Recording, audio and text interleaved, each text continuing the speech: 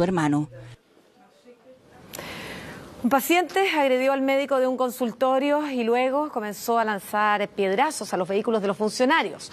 Todo esto pasó en San Pedro de la Paz, donde continúan los ataques y los delitos en los centros asistenciales.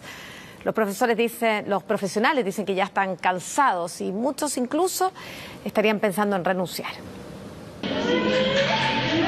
Es la reacción airada de este sujeto. Actúa violentamente y lanzando piedras hacia los vehículos de los funcionarios del consultorio Candelaria de San Pedro de la Paz. Minutos antes había golpeado al doctor de turno porque quería medicamentos. Él quería unos medicamentos y unos certificados que no le correspondía de acuerdo al diagnóstico que le habían entregado los médicos.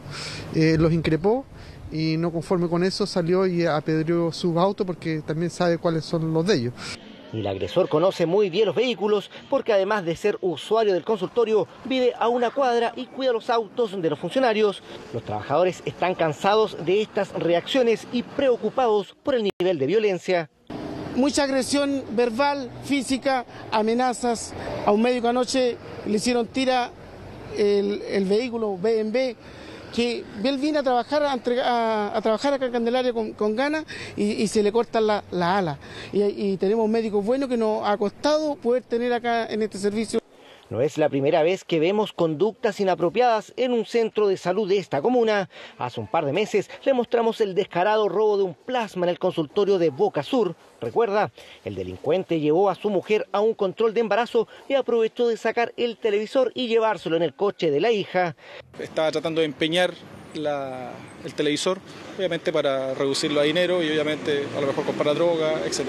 Pero si de agresiones hablamos, en el mismo centro asistencial, este sujeto que vemos en acción prendió fuego al auto de una funcionaria sin conocer hasta ahora el motivo. Igual está malo porque para las personas que viven aquí mismo se atienden, al final que a todos les sirve. Malo eso que hacen porque el policlínico nos sirve a todos. Y si, si no tenemos abierto acá, ¿dónde vamos a ocurrir?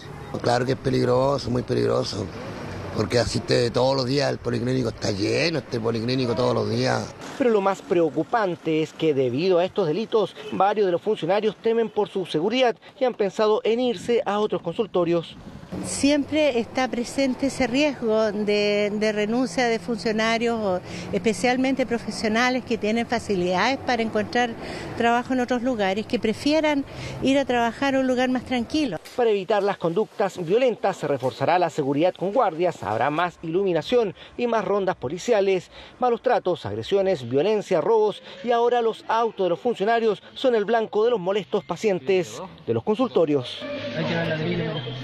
tres